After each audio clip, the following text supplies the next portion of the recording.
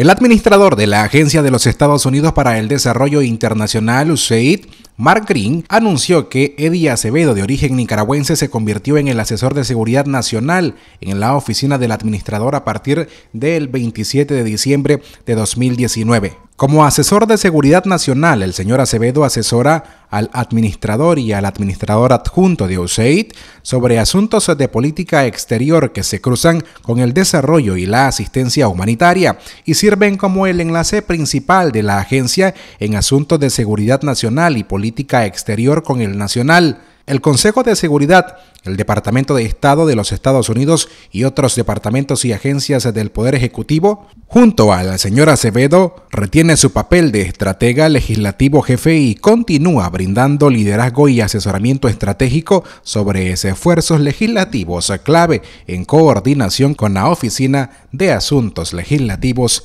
y Públicos. Darío Noticias.